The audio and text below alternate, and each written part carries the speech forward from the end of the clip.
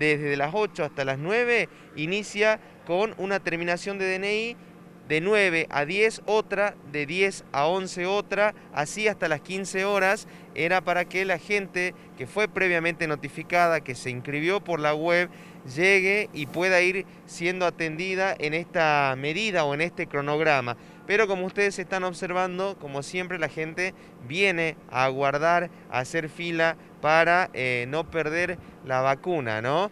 Están muchos desde muy temprano haciendo fila para poder recibir la vacunación. Yo vengo de Barrio Alberto, yo digo, ¿por qué no van a la salita a, a, vacunar a la gente mayor que somos de 80 años?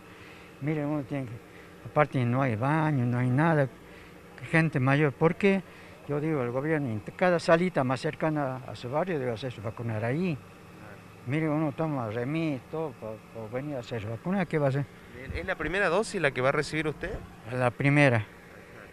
Sí, la primera. Ahora no sé, no sé si me toca, por correo han mandado un aviso. A ver si... Claro, no le dieron un horario porque hay un calendario en el que indica la terminación del DNI y el horario. ¿no? Eso no le llegó a usted no, al mail. No, no, no, la avisan mal, el horario no. Hasta el momento no hemos encontrado a nadie que haya recibido el mail con un horario definido, ¿no?